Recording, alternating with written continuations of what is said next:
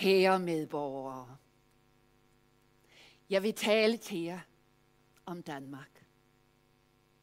Om Danmark, der gennem de senere år er blevet et flerkulturelt samfund. Store minoritetsgrupper af medborgere fra alle dele af verden lever i dag side om side med en forholdsvis ensartet dansk majoritetskultur. Jeg vil tale til jer om det danske. Det særligt danske. Det danske, der på en gang er noget kollektivt og noget individuelt. Kollektivt, fordi vi ser os selv som en del af et fællesskab med en betydelig sammenhængskraft. Individuelt, fordi det er en del af min personlige identitet at være dansker, til forskel fra franskmand eller araber. National identitet er forestillingen om, at jeg har et hjem. At jeg kommer et sted fra. At jeg har et modersmål. Jeg kan huske, da prinsen kom hertil. Han sagde, at han ville lære sproget, men det faldt ham svært. Le danois ne pas une langue. C'est une maladie de la gauche, væsede han. Det betød blot, at han havde problemer med udtalen. Han kunne ikke give slip på det franske. Heller ikke den franske kultur. Ville ikke spise lever på steg. Han ville have forgras. Jeg kaldte det dyrplageri. Prinsen kaldte det kultur. Skændtes vi kunne prinsen endda finde på at kalde dansk kultur for en kultur de bøf. Prinsen har alle dage kæmpet for at bevare sit hjem. Sit hjem i sig selv. Sit sprog. Jo, jo, jo. Han var svær at integrere. Vælger man at flytte til et fremmed land, har vi for vaner at mene, at man har en forpligtelse til at tilpasse sig. Skikfølge eller landfly, som man siger. Mange nætter lå jeg bekymret og søvnløs. Hvordan skulle denne mand, min mand, min prins, min Aladdin, nogensinde blive accepteret og blive dansk? Jeg vil tale til jer om national skizofreni. Om følelsen af hjemløshed. Om berøringsangst. Om angsten ved at miste sit hjem. Jeg tror, at vi, når vi bliver konfronteret med dem, vi kalder fremmede, ofte føler, at de fratager os glæden ved det at være dansk. Som om vi i vores iver efter at være åbne, glemmer os selv. Det er som om vi er konfronteret med de fremmede, pludselig ikke kan finde os selv. Ja, vi kan ligefrem føle os bestjålet. Også jeg kender denne følelse af tab. Og længsel efter at dykke dybere ned og tilbage. Finde den oprindelige substans. Det, der kan give det kaotiske og fragmenterede liv mening. Men måske er det, vi føler, vi mister, blot en illusion. Og noget, vi aldrig har ejet. Jeg taler til jer om at føle sig langt fra sit hjem, sit land, sit sprog. Jeg taler om at føle sig langt ude jeg taler om at være hud, krop og ben. Jeg taler om at være nøgen, febrilsk og forvirret. Jeg taler om at ligge i en lille båd om natten og drømme om at være til fest hos guderne. Jeg taler om at trykke profeten i hånden og vise ham det statsløse pas. Jeg taler om at få adgang til et nyt liv. Jeg taler om at sidde i lejren foran dommerne og opføre min tragedie, min flugt. Kan jeg huske mine replikker? Spiller jeg troværdigt bedre end året før? der er x-faktor i Sandholm. Og jeg er her to win. Ja, ja, ja. Fint, Mohammed. Men her i landet er den kulturelle inklusion et adelsmærke. Blottet for omklamrende politisk korrekt nedladenhed. Nej, nej, nej, nej, Mohammed. Det her, det er ikke Sverige. Her skal du stå tidligt op for at dupere nogen. Her ses der House of Cards på Netflix. Her kender man sit værd. Her forfalder ingen til sentimental falskneri og hyklerisk interesse for de fremmede. Her er din kultur på tålt ophold, mens professorerne efterprøver, om den mund kan tilskrives bare lidt værdi. Her i landet, Mohammed, tilbyder vi vores dobbeltsprogede europæiske indbyggeres børn modersmålsundervisning, men ikke børn fra andre lande. Nej, beklager, Mohammed. Ja, og i det land vil jeg være perker dronning.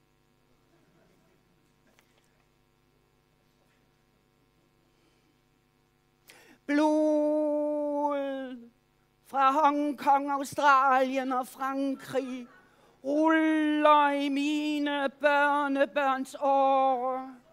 For mig, jeg er Margrethe, mig, jeg er dronning af Danmark, mig, jeg er ud af en mega multikulturel familie.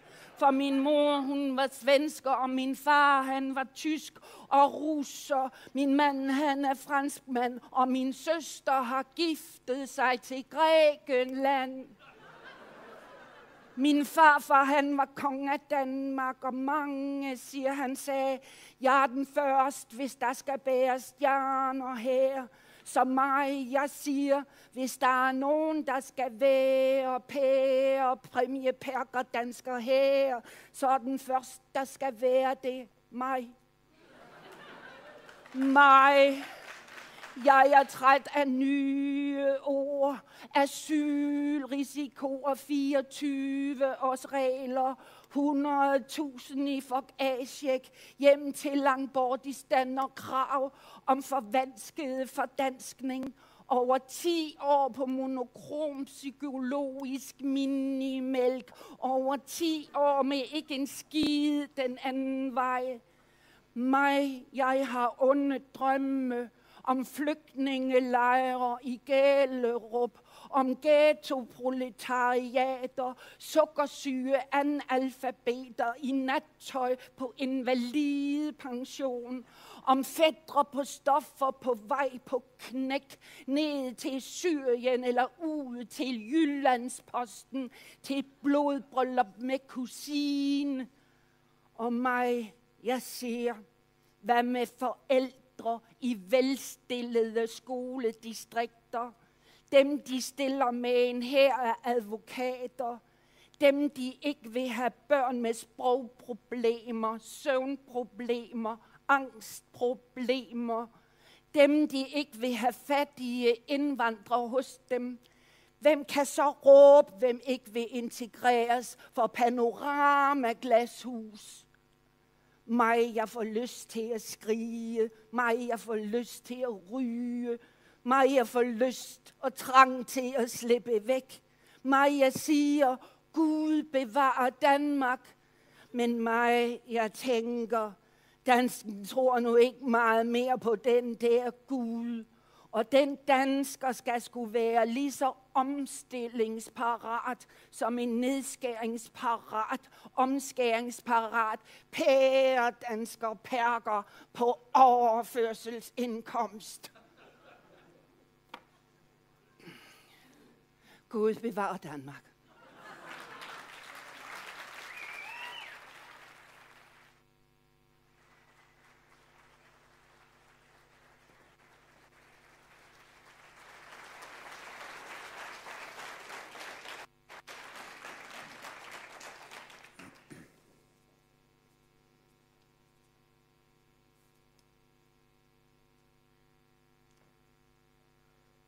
Jeg er formand.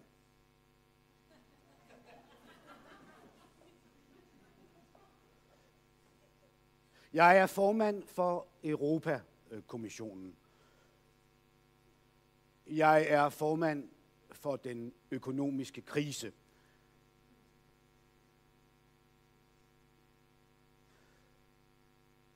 Jeg tænker på Lampedusa. Lampedusa, hvor flere hundrede flygtninge for ikke så forfærdelig lang tid siden druknede på deres vej til Europa.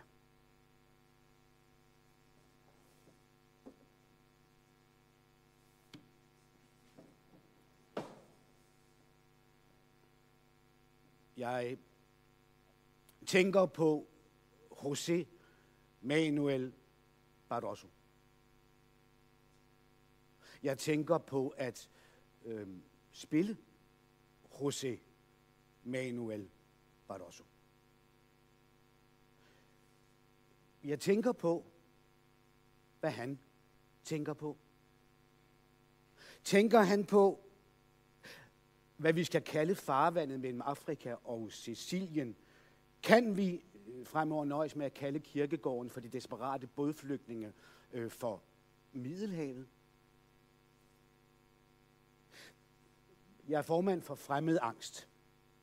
Jeg har et øje. Hvad ser jeg? Jeg ser, at mange flere vil komme, drive fortabte omkring, gå til bunds i verdens mest befærdede farvand. Kaptajner, der føler sig forpligtet til at overholde reglerne for nødstætte, vil blive ret forfulgt til skræk og advarsel. I signalet går klart igennem. O høje skipper, sam dem ikke op.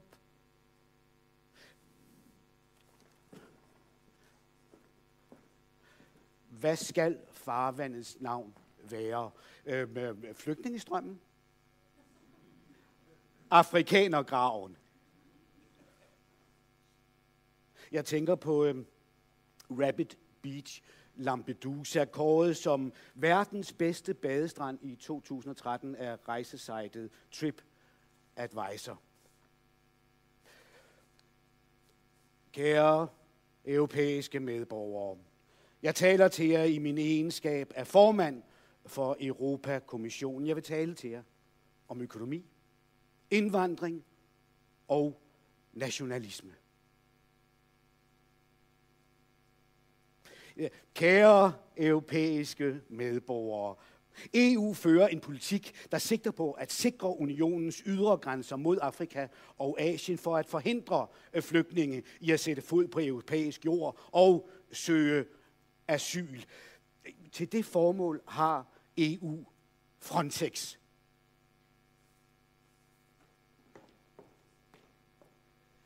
Jeg googler, hvad Frontex er. Frontex er det europæiske agentur politi for EU's ydre grænser, øh, skabt i 2004 og hovedkvarter i Warszawa, disponerer over øh, 26 helikoptere, 22 lette fly, 113 fartøjer, øh, 473 tekniske apparater, det vil sige mobile radarer, termiske kameraer, sonder til måling af udstødningsgasser, hjerteslags, detektorer og snart droner. Budget øh, cirka en milliard kroner. Frontex øh, samarbejder direkte med ikke-EU-landes grænse- og øh, politimyndigheder uden for EU's parlamentariske øh, kontrol. Der er tale om lande, der sjældent har samme øh, standarder for retssikkerhed, respekt for menneskerettighederne, som EU selv. Lad os kalde det en tvivlsom outsourcing. Hvad er der tilbage, når havdyrene har slikket huden af knoglerne. Skeletterne sover ikke sammen med, med fiskene. De, de suger i kontinentets grund. Hvad er der på menuen på de italienske, øh, de italienske kystrestauranter? Spaghetti eller vangole. Er der fiskeben på tallerkenen? På den franske riviera. Fruit mere mer, anybody.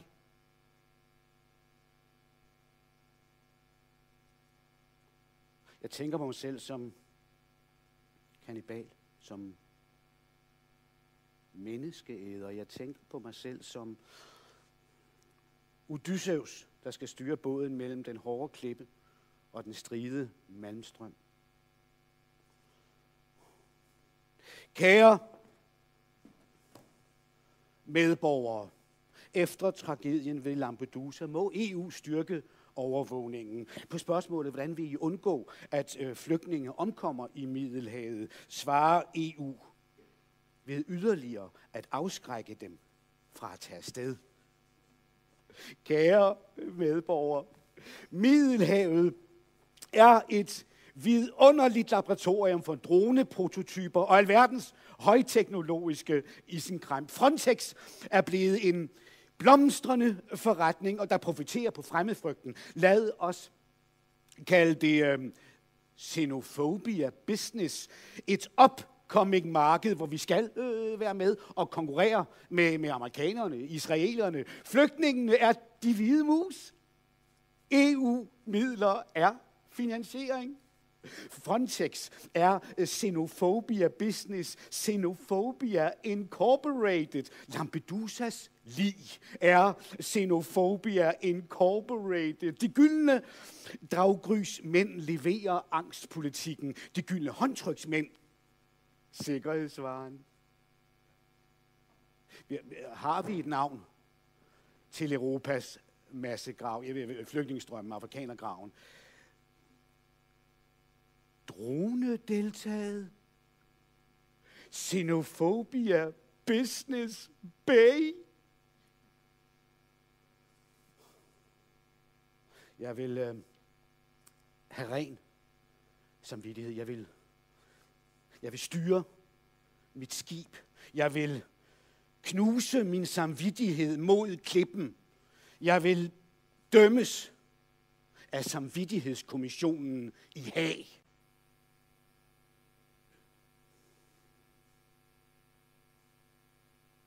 Jeg skriver. Jeg tænder for tv og doper mig med nyheder, katastrofer. Jeg ser løsrevne begivenheder, der intet har at gøre med den grundlæggende økonomiske struktur. Jeg ser sorte, arbejdsløse zombier, der sjosker rundt i Europas gader. Men jeg, jeg, jeg indgår et forlig, hvis jeg lader som om der findes en orden og en mening, øh, holder mig i ro, passer mit arbejde, ikke skærer for meget ud, og så har jeg til gengæld lov til at, at nyde en god stik. Øh, trække rødvin op.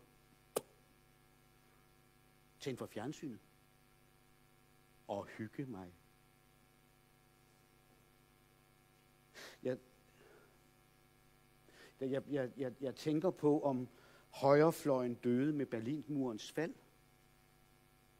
Jeg, jeg tænker på, om vi begynder at ane konturerne af højrefløjens helvede. Et dobbelt hovedet havuhyre, leviathan. Halvt øh, søslange, halvt, halvt søslange, halvt krum, sump, krokodille. På den ene side en autoritær, indeslukket nationalisme, på den anden side den globaliserende ultraliberalisme. Her øh, den grænseløse finansielle nomade, der den forstenede nationalstats fastgroede nostalgiker. Vel mellem en enkeltbillet til en utopisk opløst verden, eller en returbillet hjem til territoriet bag grænse, grænsebommen med orden og regler.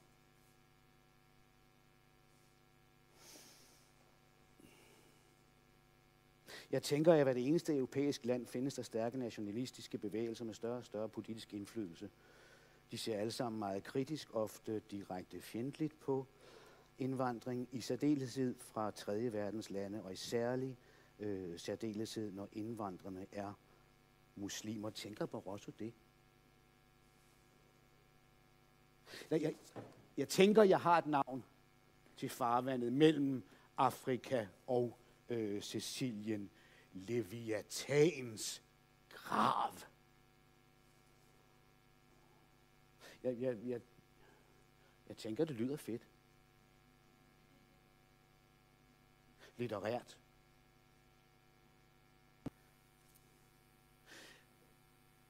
Jeg tænker, jeg spiller Barroso med stor troværdighed.